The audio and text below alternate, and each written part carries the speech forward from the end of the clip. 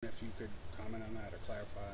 Um, you know, just uh, that's something that happened what three weeks ago, four weeks ago. Jo, uh, uh, you know, we, we've handled that uh, uh, that thing with, with Jo. It's not finalized, obviously, because he's still on the roster, but uh, we've dealt with that situation, and there's really nothing more to, to say about it or update it. And you know, we, we've moved on. You know, I think he's ready to move on and, and maybe have an opportunity somewhere else. And that's really our focus is to go. You know, we play Orlando. We've got 23 games left. We're trying to get our young guys to uh, step it up. So, you know, that that's kind of old story and all done with as, as far as I'm concerned. So you don't want to say if that piece of it is accurate or inaccurate. Yeah, I'm not gonna comment on any of that stuff and any stories that are out there. So he's he's not coming back. Is that is that the plan right now? I think that is the plan.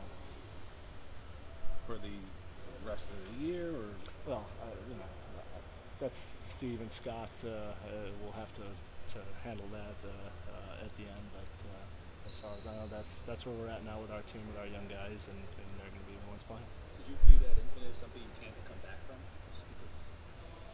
No, I mean things happen in practice, happen in meetings, happen in all kinds of stuff. So, uh, but you know, we dealt with that, and that's the end of it us.